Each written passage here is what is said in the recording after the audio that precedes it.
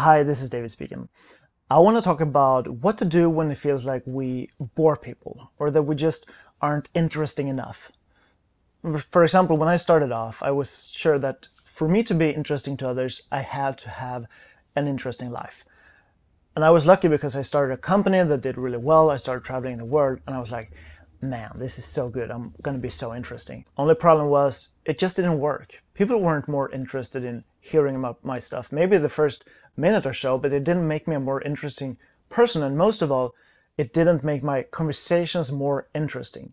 And if you don't believe me, think about, you know, some old relative at a Christmas party who starts talking about his time in the war.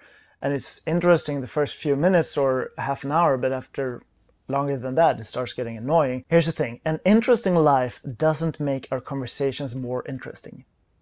That's super not intuitive, so I say it again. An interesting life doesn't make our conversations more interesting because what makes our conversations interesting is the way we make conversations. That's what I'm going to talk about in this video. And we're going to learn from what socially savvy people do to always be able to have interesting conversations, no matter what their life's like or anything like that. So when it comes to interesting conversations, most people talk about facts and opinions. Facts and opinions. And that's that's the way they interact with others.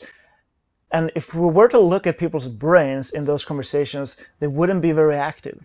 And then there's socially savvy people who have learned that we also want to talk about thoughts and feelings. Not in a flower power way. I'm going to show you what I mean let's say we talk about the something that most people find pretty exhausting to talk about, at least after a while, the American education system. Obviously, there's a lot of facts about it we can talk about. We can talk about how the schools work or don't work and how many schools there are and so on. That's the facts. Then we have the opinions about what I or someone else think has to be done or what should be changed or what we should or should not do. Those are the opinions if we tend to only talk about facts and opinions, people get bored after a while. One problem here is a bias called the false consensus bias. Scientists have discovered that people tend to believe that others agree with them more than they actually do. So when we meet someone, we just automatically assume that that person has the same thoughts and beliefs that we have. When we start talking about our opinions, it often creates a bit of a disconnect because the other person will be like, oh, this isn't really what I think. But it's subconscious or they just, you know, keep smiling and don't say anything about it because you don't want to start a fight with wh whoever you're talking to. The other problem is facts. If we just talk about facts, we could be replaceable by Wikipedia because we can go there and we can watch a documentary and learn things about that. Plus, when you start talking about facts, it's a little bit like you're lecturing people. Now, socially savvy people switch the conversation into personal mode. Switching into personal mode is something you know if you follow me. It's a super awesome way to make conversations more interesting. And you can do that by shifting over to thoughts and feelings. So maybe if we again talk about the education system in the US, maybe I could ask something like, so where did you go to school? See what I did there?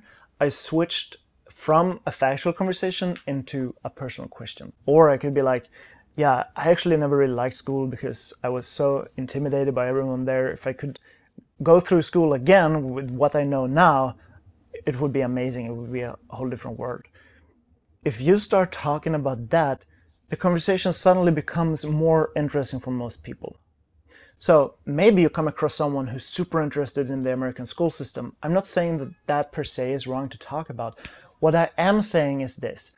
If you're a person who often end up in facts and opinions, you want to switch over to thoughts and feelings. How you feel about something, what you think about something, and then ask the other person what they think or feel about something. I'm not talking about some weird psychoanalysis stuff. I'm just talking about slightly personal questions. And what I do is to ask the question you. So for example, what was school like for you? What was it like for you to grow up in the rural area? How was your teachers? When you ask something with the question you, if we were to put that person in a brain scan, we were we would be able to see that wow, the brain lights up like this, and that is interesting for that person. Now, we can't just ask people questions about them without sharing a little bit about ourselves. That's why we want to share our thoughts and feelings about something. Alright, if you like this video, hit like and subscribe. And if you like what I talk about, you should check out my training. You find it below. It's free. It's all about social interaction, making conversation, feeling confident. If you like this video, you will love that one. See you in the next one.